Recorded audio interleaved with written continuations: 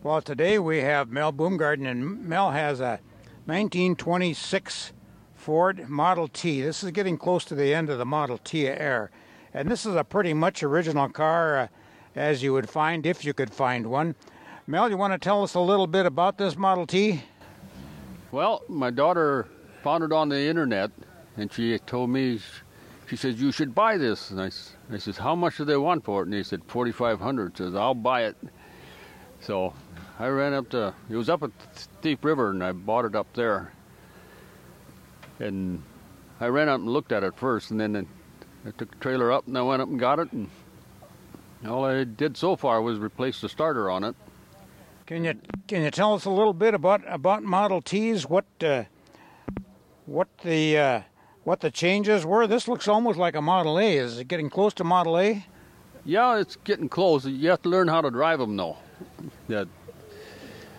It it still still has the three pedals as far as. Uh, pedals, yeah. Okay.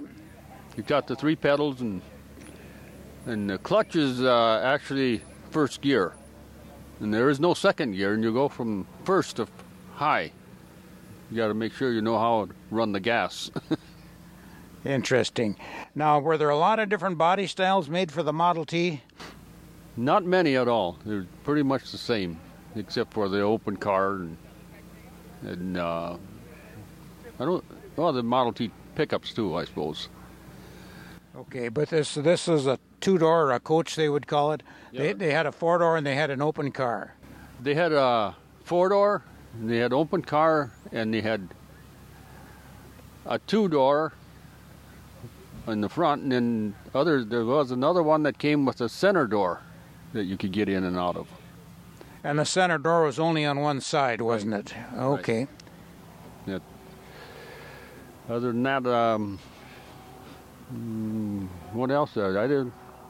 All I replaced was uh, another was a radiator cap, the fancy radiator cap. Yeah, that's a kind of an aftermarket one, but it's kind of an approved accessory. Uh, are, is there any special features on this particular Model T? Not that I know of. It's all original. I haven't replaced anything different on it. Are there a lot of miles on it? I don't know how many miles there is. There's no spe- speedometer.